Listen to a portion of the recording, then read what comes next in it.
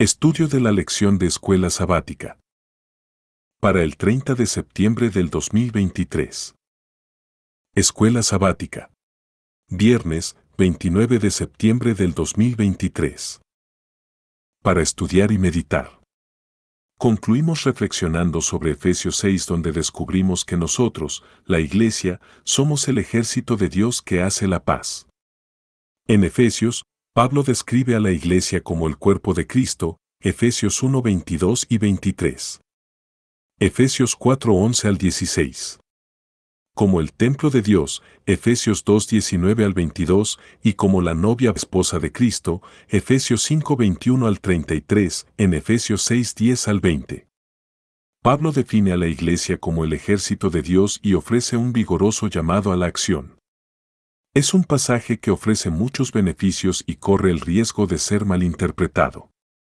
Podríamos malinterpretar las palabras de Pablo como un llamado a empuñar armas militares literales o a ser combativos en nuestras relaciones con los demás.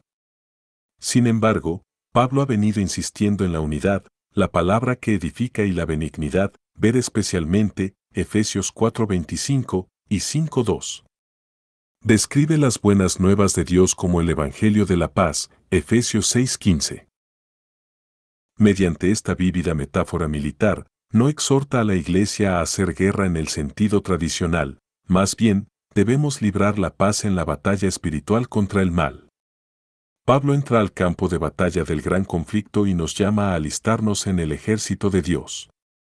Deberíamos hacer esto con una opinión realista del enemigo, ya que nunca sobreestimaremos lo suficiente las fuerzas desplegadas contra nosotros. No nos enfrentamos solo a enemigos humanos, sino a fuerzas espirituales malignas en las regiones celestiales, Efesios 6:12. Dirigidas por un general astuto, el diablo, Efesios 6:11. Sin embargo, no debemos dejarnos intimidar por nuestros enemigos. Dios está presente con nosotros en la batalla, Efesios 6:10, y nos proveyó las armas más nobles, su propia armadura, la armadura de Dios Efesios 6:11. Comparar con Isaías 59:15 al 17. Ha puesto a nuestra disposición la verdad, la justicia, la paz, la fe, la salvación y el Espíritu, Efesios 6:13 al 17. Si Dios va delante de nosotros y estamos pertrechados de pies a cabeza con la armadura que Él nos proveyó, no podremos fallar. La victoria está garantizada. Preguntas para dialogar. Pregunta 1. Aunque no nos salvamos por nuestras obras, ¿qué quiere significar Pablo cuando escribe que fuimos creados en Cristo Jesús para buenas obras, que Dios de antemano preparó para que anduviésemos en ellas? Efesios 2.10. ¿Cuál es, entonces, el propósito de nuestras buenas obras? Pregunta 2. Pablo escribe, a aquel que es poderoso para hacer infinitamente más que todo cuanto pedimos o entendemos, por el poder que actúa en nosotros, Efesios 3:20.